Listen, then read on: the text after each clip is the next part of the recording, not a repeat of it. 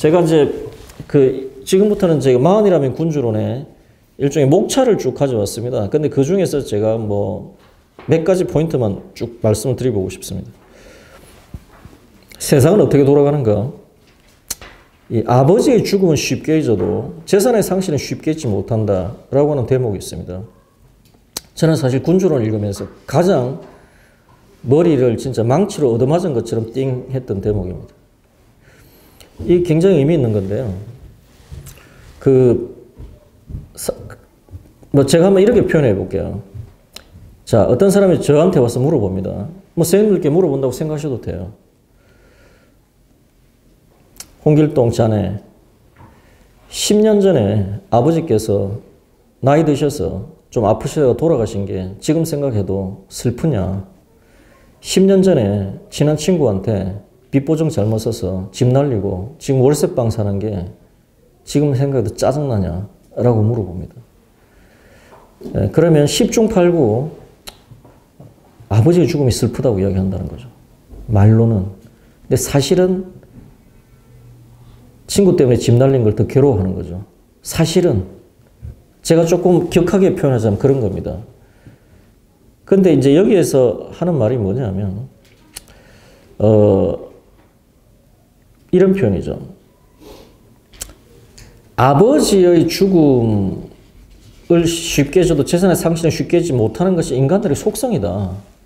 그런데 또한 아버지의 죽음이 재산의 상실보다 훨씬 아버지의 죽음이 훨씬 슬프고 힘들다라고 이야기하는 것도 인간의 또한 측면이다. 느낌이 오세요. 예. 예. 사실은 재산의 상실을 굉장히 괴로워하면서 말은 또 그렇게 하지도 않는다는 거예요. 자, 요 대목에서 갈립니다. 도덕론자들은 이렇게 이야기하는 거죠. 도덕론자는 야, 아버지의 죽음을 슬퍼해야지. 재산의 상실을 네가 더 괴로워한다면 넌 인간이 아니야. 너 마음 한구석에 조금이라도 그런 게 있다면 넌 인간이 덜 된 거야. 너 반성해야 돼. 제대로 살아야 돼. 극단적으로 내가 이렇게까지 이야기하는데 네 아버지의 죽음을 아직까지도 어? 제대로 이해하지 못해? 그럼 넌 죽어. 이게 도덕론자들이잖아요. 근데 마키아벨리 관점은 그게 아니죠. 무슨 말이냐. 사람들은 그렇게 생겨 먹었다는 거예요. 근데 리더라고 하는 자가 야 아버지의 죽음은 쉽게 져도 재산의 상실이 쉽게 지 못하는 거야. 요런 이야기를 자꾸 하는 것은 그건 잘난 척 하는 거라는 거예요. 그 소위 말해서 뭐 책이나 좀 팔아먹는 애들이 하는 이런 말 할 필요도 없다는 거예요. 리더는 사람들의 속성을 정확하게 이해하고 거기에 맞게 제도를 만들고 사람들을 이끌어가는 사람이다. 그게 리더라는 거예요. 저는 이 이야기를 굉장히 저는 공감을 하면 했, 습니다 그러면서 제가 이 사례를 말씀을 드릴 텐데 이 책을 쓰다 보면 또 이런저런 또 흔한 말을 좀 뺏겨 먹어야 되잖아요. 내가 공감한 것도 쓰지만 사례 같은 거는. 근데 제가 이 사례는 정말 제가 너무 잘 찾은 것 같아요. 무슨 말이냐. 이 인간들이 갖고 있는 기본적인 어떤 속성을 나타내는 건데요. 뭐 아주 간단하게 말씀드리겠습니다. 자, 범선이 보이죠? 그리고 그 옆에는 지도가 있죠. 지도 딱 보시면은 런던에서 호주 시드니까지 이 쭉 화살표가 있죠. 이게 항로입니다. 자, 이게 무슨 이야기냐면 본래 그 옛날에는 그 과거에는 중죄인들, 정말 나쁜 놈들은 사형시켰겠죠. 근데 그 다음 나쁜 놈들은 어떻게 하느냐. 감옥에 있어도 너는 본국 감옥도 사치스러워. 그러니까 나가. 유형이야. 유형 가가지고 거기서 돌아오지도 마. 그리고 거기서 노동시키는 거예요. 예, 그리고 물설고 낯설은 식민지 가가지고 그 뭐 강제 노동 10년 하면 그러면 풀어줄게. 뭐 이런 우리가 지금 빠삐용 같은 영화에서 보면 바로 그걸 보는 거예요. 자, 런던에서 그래서 과거에 어떻게 영국의 중죄인들을 유형을 보낼 때 미국으로 보냅니다. 근데 아시는데 미국이 1776년부터 80년, 80몇 년에 걸쳐서 독립해버리잖아요. 더 이상 식민지에 못 보내잖아요. 대체 유형지를 찾습니다. 고생고생해서 나름대로 후보지를 찾은 데가 어디냐면 호주를 찾습니다. 호주를. 호주를 찾는데, 그래 호주에 우리가 알고 있는 1788년 1월에 1373명의 죄수가 호주에 도착을 합니다. 그래서 백인에 의한 호주의 역사는 이때 시작이 되는 거예요. 그건 다 아시는 거예요. 여기 아주 정밀로운 이야기가 있습니다. 자, 영국에서 미국까지 가는 거리가 대략 7, 8천 킬로미터 정도입니다. 근데 영국에서 호주를 가는 거리는 2만 5천 킬로예요. 이 2만 5천 킬로가 엄청난 거리죠. 지금 그 여객기 어떤 여객기도요 2만 5천 킬로 하, 그 가는 여객기 없습니다. 그 시드니에서 런던은 직항편이 없어요. 다 트랜짓을 합니다. 홍콩이나 방콕에서 그 정도로 먼 거리입니다. 그 2만 5천 킬로미터를 크루즈 하는 것도 아니고 죄수 호송선이에요. 그것도 돛단배입니다. 돛단배. 돛단배를 타고 가야 되니 이게 얼마나 먼 거리였겠어요. 그러니까 246일 평균인데 한 1년 내내 그냥 가는 겁니다. 1년 내내. 거의 1년 내내. 1년 내내 가는 건데 1년 내내 가는데 이게 얼마나 힘든 항해였겠습니까? 1790에서 92년 중에 4천명 보냈는데 500명이 죽고요. 가는 도중에 죽어버립니다. 그리고 내려서 또 뭐 몇 명 오래 살지도 못한 몇백 명이 또 죽습니다. 그러니까 영국 정부도 이건 문제가 되는 거죠. 이게 살인이에요. 이게 사법 살인입니다. 이거는. 야, 이 문제를 해결해야지. 이걸 이런 식으로 해가지고 이게 되겠냐라고 하는데 온갖 아이디어들이 다 나옵니다. 뭐 예를 들어 지금으로 치면 운임을 너무 적게 줘서 어 그러니까 운임을 좀 많이 주자. 선장들의 성격이 너무 포악하니까 뭐 예를 들어서 심층 면접을 하자. 인성 테스트를 하자. 추천을 받자. 뭐 온갖 이야기들이 다 나오는데 다 이게 별로 실효성이 없어요. 이렇게 되면 어떻게 되느냐. 결국 보내봤자 그 돈 들고 가다가 죽고 또 도착해도 또 죽고 하니까 이 호주의 그런 그 이주가 아예 안 되는 거 아니냐라고 하는 상황까지 갔는데 어떤 실무자, 지금으로 치면 중앙부장 과장급 정도가 되겠죠. 이 과장이 어떤 아이디어를 하나를 냅니다. 이 아이디어가 이 문제를 완전히 해결하고요. 호주의 역사를 바꿔요. 그 아이디어가 바로 뭐냐면 그전에는 살아있는 죄수가 런던에서 배를 타면 예를 들어서 1인당 100만 원을 줍니다. 운임으로. 근데 그 체계를 어떻게 바꾸느냐면 시드니에 도착해서 살아있는 죄수가 호주 땅을 밟아야 100만 원을 줍니다. 가다가 죄수가 죽으면 돈 안 줍니다. 이렇게 운임 체계 하나를 딱 바꿨어요. 그랬더니 어떻게 되느냐. 1793년에 422명을 보냈는데 한 명 죽었습니다. 죽지 않습니다. 자, 그러면 이 죄수들의 구원한 것은 선장의 자비심이냐, 선장의 이심이냐, 이야기죠. 이게 바로 마키아벨리가 하는 이야기와 맞닿아 있는 거죠. 자, 선장들도 기본적으로 다 나름대로 자기도 원가가 있을 거 아니에요. 선주한테 배 빌리는 돈, 배 빌려야 되, 잖아요그 다음에 선원들 공에서 월급 줘야 되잖아요. 가는 동안에 자기도 먹어야 되잖아요. 비용이 들잖아요. 그리고 이때 당시 다 나무로 만든 배인데 한번 왔다 갔다 하면 얼마나 수리비가 많이 들겠습니까? 그러니까 다 자기 나름대로 원가 구조가 있는 거예요. 그러니까 예를 들어서 1인당 100만 원 받아가지고 100명 태우면 1억 받으면 그걸로 여기저기 쓰고 자기도 다 나름 돈 좀 버는 거예요. 그런데 예를 들어서 100명 태우는데 그전에는 100명 태우면 뭐 가다가 10명이 죽든 20명이 죽든 30명이 죽든 뭐 자기가 상관할 바는 아닌 거예요. 근데 이제는 스토리가 달라지죠. 가다가 20명 죽으면 소림 분기점이에요. 30명 죽으면 자기 집 팔아야 돼요. 50명 죽으면 자기 신용불량자 되는 거예요. 어떻게 되겠어요? 죽을까봐 걱정을 하는 거예요.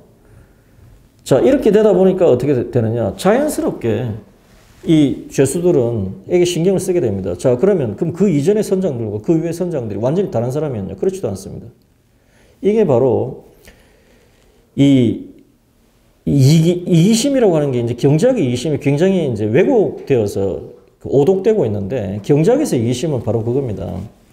내가 잘 되기 위해서 남을 해친다. 이게 아니라 내가 내가 잘 되기 위해서 최선을 다해서 노력하다 보니 그것이 결국 나에게도 도움이 되지만 다른 사람에게도 이익이 되더라. 어떤 메커니즘을 통해서 시장이라는 메커니즘을 통해서 그것이 바로 경제학 이기심입니다. 저는 이걸 이야기하고 싶은데 그래서 자, 그 유명한 고전이 있죠. 아담 스미드의 국부론. 예, 책 이름 많이 들어봤지만 읽은 사람 거의 없는 책. 거기에 나오는 유명한 또 센텐스는 있죠.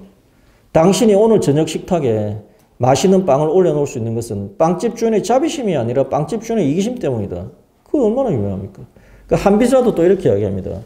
사람들은 뱀을 보면 누구나 다 싫어하고 어, 도망간다. 근데 여자들은 여성들은 특히 소리까지 지르면서 정말 놀란다. 그런데 뱀을 보면 너무 좋아서 막 기쁨의 탄성을 지르면서 그 뱀을 막 이렇게 좀 좋아하는 사람이 있다. 누구냐? 땅꾼이다. 한비자가 이야기하는 거예요. 2500년 전에. 땅꾼은 뱀만 보면 너무 좋은 거야. 잡으면 자기는 돈 되니까. 이게 바로 시대는 변해도 인간의 본성은 변하지 않는 겁니다. 저는 이제 이 부분인데요. 이 부분을 사실 뭐 너무 구구절절 이야기할 필요 없어요. 저도 사실 이런 이야기 안 하고요. 뭐 그냥 좋은 이야기 하면서 하면 뭐 좋을 것 같아요. 근데 세상이 그렇게 생겨 먹지 않은 걸 어떻게 하면 내가 겪은 경험이 그게 아닌 게 참 어떻게 하겠습니까? 많은 자, 그래서 리더라고 하면 사람들이 이런 속성을 정확히 이해할 필요가 있겠다라고 하는 것이죠. 자, 그 다음에 이제 조금 뭐 빨리 한번 해보겠습니다. 군주에게는 성실과 신의도 필요하지만 16페이지입니다. 2번. 때론 책략도 필요하다. 이거 굉장히 그 오해를 많이 받는 건데 책략도 써야 하는 책략이 많으면 살 길이다 이렇게 보는데 그렇지 않습니다. 성실과 신의로 사람들을 대하는 것은 굉장히 중요하지만 그렇다고 해서 책량을 쓰지 못하는 것도 무능하다는 거예요. 왜? 세상은 공자 맹자만 사는 게 아니라는 거예요. 어, 제가 특정인 자꾸 이야기해서 미안하지만 조약은 김태촌도 사는 겁니다. 세상에는. 그보다 더한 놈도 있는 거예요. 근데 군주가 나는 공자 맹자처럼 살고 싶어서 사는 건 좋아요. 또 개인이 그렇게 사는 건 좋아요. 그건 뭐 잘못돼도 그 개인의 문제니까. 근데 군주라는 자가 그렇게 하다가 어중간한 악인에게 그 청략이 넘어가서 자기 개인이 신세가 망하는 것은 좋다 치지만 그 신민들이 다 노예가 되고 망해버린다고 하는 것은 과연 그게 과연 현명한 거냐 그 이야기를 하는 겁니다. 그럼 타인에게 의존하는 삶은 결국 비참한 결과로 끝난다는 건데요. 이건 용병을 가지고 이야기합니다. 그때 당시는 사실 뭐 피렌체가 제가 인구가 한 5, 6만 명이었다 그랬죠. 인구 5, 6만 명에 1인당 국민소득은 수십만 달러로 아주 잘 사는데 이, 이 나라에는 군대가 아예 없습니다. 아예 없습니다. 아예. 예, 잘 먹고 잘 사니까 뭐 그런 일 별로 안 하고 싶어 할 뿐더러 돈 많으니까 또 그리고 전체적인 질서가 교황이 주도하고 있으니까 뭐 피렌체에 와서 함부로 극단적인 어떤 상황을 처해지지도 않지만 문제가 생기면 뭐 돈 주고 용병 좀 사와서 수비만 하고 있으면 시간 벌면 또 대충 또 해결되는 거예요. 그랬는데 그때 스토리가 조금 달라지는 거죠. 왜? 이탈리아 도시 국가들끼리 그렇게 살 때는 아무 문제가 없었는데 바로 옆에 프랑스, 그 다음에 약간 바다 건너 스페인 같은 엄청난 이 소위 말해서 영토 국가가 만들어진 겁니다. 루이 왕조에 의해서 우리가 알고 있는 그 프랑스가 어, 영토 국가로 됐는데 프랑스 왕이 한 번씩 좀 기분 나빠가지고 그 이탈리아 반도 침공할 때 병력이 5만 6만을 데리고 들어옵니다. 아니 피렌체 인구가 5만인데 5만 명의 병사가 들어오면 그거 어떻게 막겠어요? 아니 대책이 없어지는 겁니다.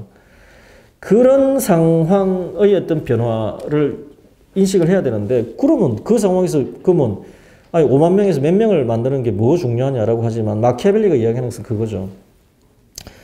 단 100명이든 1000명이든 자체적인 군대를 갖고 있다는 것은 그건 다른 문제다. 아예 없다고 하는 것과는 완전히 또 다른 문제다라고 하는 이야기를 하는 겁니다.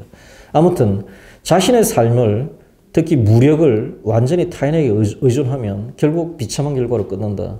그건 자기의 외교관으로서 경험을 갖고 있는 거죠. 마찬가지 맥락인데 4번 18페이지 무력을 갖추지 못한 군주는 경멸받는다. 결국 평상시에 아무리 뭐 자기가 우하니 뭐니 해도 결정적인 순간에 자신을 지킬 수 없는 군주는 결국 경멸받을 수밖에 없다는 거죠. 뭐 지금 표현을 치면 돈은 많고 무력이 없는 군주와 국가는 결국 자동 판매기에 불과하다는 거죠. 자동 현금 출납기.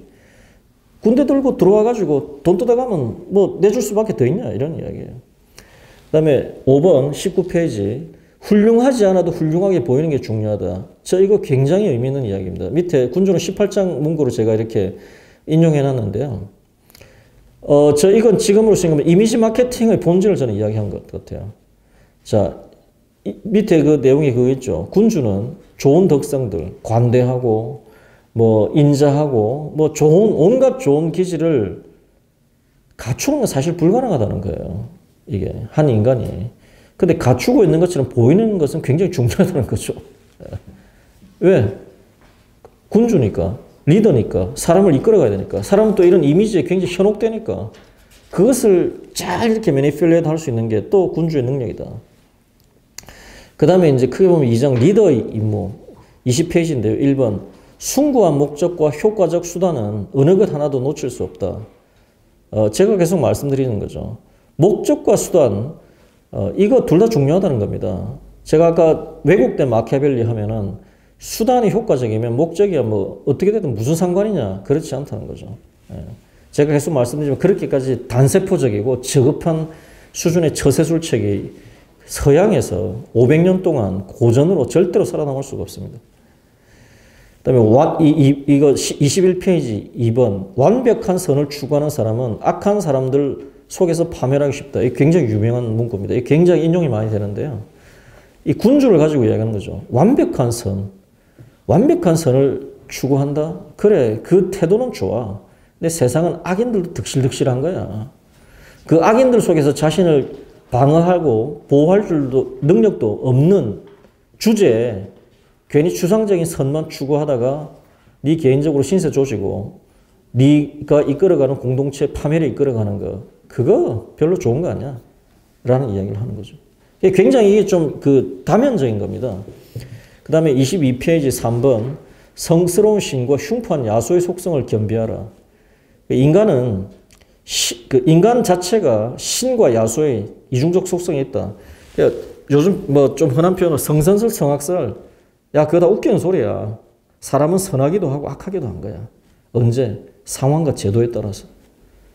그래서 괜히 사람을 신처럼 너무 뭐 그냥 무작정 respect 하는 것도 그것도 문제고 인간은 야수야. 그러니까 믿을 놈 한 놈도 없어. 뭐 그것도 또 바보 아니야? 라는 거죠. 이 굉장히 복합적인 이야기를 하는 겁니다. 그 다음에 23페이지 전쟁에 대비하는 것은 리더 유, 일한 임무다. 이건 뭐 이제 뭐 앞에서 무력 이런 이야기하고 맥락이 같으니까 일단 한번 그냥 읽어보겠습니다. 그 시간 나면 제가 군주론에 있는 그 요 관련된 문장 센텐스를 이렇게 밑에 이제 이태릭처럼 붙여놨는데 그거 한번 차근차근 읽어보시면 아마 느낌이 오실 겁니다. 그 다음에 5번 개인의 취향과 리더의 사명을 구별하다 이, 이겁니다. 24페이지고요. 5번인데 이거 굉장히 중요한 얘기죠. 리더는 개인, 개인의 취향. 예, 개인이 굉장히 착, 요즘 표현으로 착하고 덕스럽게 남을 속이지 않고 살아가려고 하는 것은 굉장히 중요하다. 그건, 그는 뭐, 어떻게 보면 칭찬받아도 무방하다. 근데 리더로서 어떤 경우에도 나는 거짓말하지 않겠다. 심지어 적들에게서조차도. 그리고 그러한 부분들을 어, 똑같이 리더의 사명과 개인의 취향을 구별하지 못하면 남는 것은 파멸이다. 라는 거죠. 뭐 이것도 일단 여기까지 이야기하고요. 그 다음에 25페이지 사람들의 속성에 대해서 몇 가지 이야기하는데 25페이지 1번 어, 악평에 개의하지 마라. 이거 사실 굉장히 의미 있습니다. 이 흔한 말로 덕치 이런 이야기 흔히 하면 이런 이야기 하는데 그 마키아벨리 이야기는 그거죠. 이 요 밑에 이제 군주는 17장에 이게 바로 제살의 보르자 이야기겠죠. 세살의 보르자 굉장히 잔인, 잔인했습니다. 왜냐하면 초장에 저희가 그렇게 밀고 들어가가지고 로마 지방을 정복했는데 막 그렇게 그 말을 그렇게 쉽게 듣겠어요. 그래서 어떻게 보면 굉장히 초, 초기에 이 잔인함을 좀 보입니다. 예. 흔히 말해서 이제 자기에게 대항하는 자들에 대해서. 근데 이 밑에 나오잖아요. 예. 근데 그것이 개인적인 원한이나 이런 것들이 아니고 질서를 회복하고 어, 평화를 가져오기 위해서 나름대로 그런 뭐 행동을 했다고 했을 때 그걸 과연 단순하게 비난할 수 있겠냐 뭐 그런 이야기입니다. 예, 그러니까 악평이 개의치 마라. 당신이 해야 리더로서 당신의 사명이 무엇인지에 대해서 집중을 하라. 뭐 이런 이야기죠. 그 다음에 26페이지 이것도 굉장히 유명한 문구인데요. 이런 이야기가 바로 불편한 진실이에요. 사랑을 받는 것보다 두려움을 받는 게 더 안전하다는 거죠. 군주. 자, 내가 군주라고 생각하면, 자, 그때 당시 500년 전에 이탈리아였잖아요. 내가 군주라고 생각하면 군주에게 제일 중요한 게 뭐겠어요? 쿠데타 당해서 자기가 안 죽는 게 제일 중요하잖아요. 일단 그게 제일 중요하잖아요. 자 그럴 때 제 한마디로 표현하면 이겁니다. 리더가 군주가 사랑을 받는 것은 굉장히 중요하다. 하지만 두려움을 받지 못하는 군주도 무의미하다는 이야기입니다. 사람은 사랑을 하는 사람에 대한 애정도 있지만 두려워하는 사람에 대한 경외감도 있어야 군주로서의 포지션을 유지할 수 있다는 거죠. 그리고 사람들은 사랑하는 사람을 공격할 때보다 두려워하는 사람을 공격할 때 더 망설이게 된다는 거죠. 왜? 사랑하는 사람을 공격하는 것은 내 마음을 바꾸면 그만이지만 두려워하는 사람을 공격할 때 잘못되면 나는 죽어야 되는 겁니다. 그럼 어떻게 하는 게 더 안전하겠어요? 예. 이런 이야기, 이런 이야기는 옳다의 그러다의 문제가 아니라 그렇게 생겨 먹었다는 이야기입니다. 제가 계속 말씀드리지만. 그렇게 생겨 먹은 거예요. 예. 그 다음에 뭐 두려움과 인센티브는 사람을 움직이는 핵심 동력이다. 그건 앞에 이야기하고 비슷 27페이지인데요. 3번. 예, 사람들은 두렵게도 해야 되지만 그 사람이 이익이 되- 되도록 하는 어떤 그런 일을 해라. 어, 뭐 그런 이야기고. 어, 그 다음에 28페이지 4번. 이건 뭐 제, 제 표현인데 하여튼 사람들은 돈과 가치관이라는 두 개의 바퀴로 움직인다. 이건 마키아벨리가 명분과 이 현실을 이야기하는 것과 마찬가지입니다. 사람은 돈으로도 움직인다는 거예요. 돈. 자기 이익이 되면 적극적이 되는 거죠. 그건 너무 당연하잖아요. 아까 제가 말씀드린 한비자가 이야기한 땅꾼의 이야기 너무 너무 됐잖아요. 모든 사람은 뱀만 보면 즐겁을 하는데 땅꾼은 뱀을 보면 너무 좋아한다는 거예요. 그런 이야기죠. 그런데 또한 사람들은 가치관이라고 하는 그 명분을 주어야만 또 나름대로 이끌어갈 수 있다는 거죠. 사실 그렇지 않습니까? 아무런 가치관이나 어떤 그런 개념이 없이 단지 돈이라고 하는 하나의 인센티브로 움직이면 그게 뭐 어떻게 정상적인 하여튼 인간은 집단으로서 오래 갈 수 있겠습니까? 그것도 하나의 국가나 공동체의 어떤 야- 그 띄고 난 다음에